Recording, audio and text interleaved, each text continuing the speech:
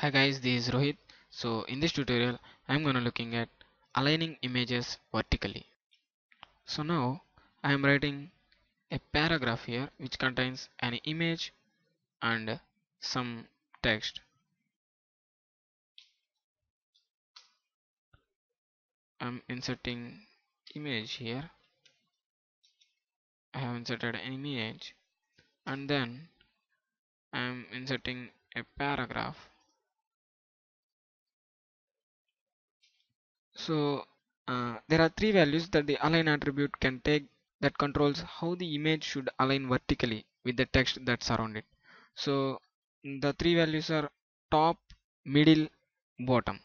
So let me show you the top value.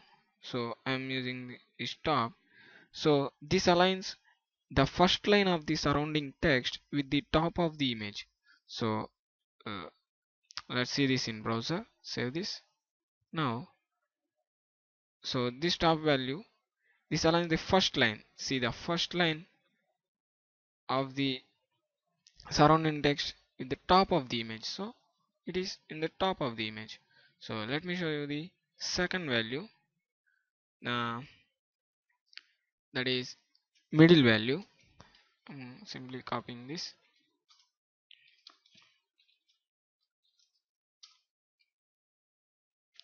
now I am giving here middle. Middle. Save this. So this aligns the first line of the surrounding text with the middle of the image. So let's see this in browser. Um, refreshing. See here we have the first line is in the middle of the image. So now on the third value is um, bottom value. Now I am giving bottom here. Now what this does is this aligns the first line of the surrounding text with the bottom of the image. So now see this in browser? Now yeah perfect the first line of the surrounding text is aligned with the bottom of the image.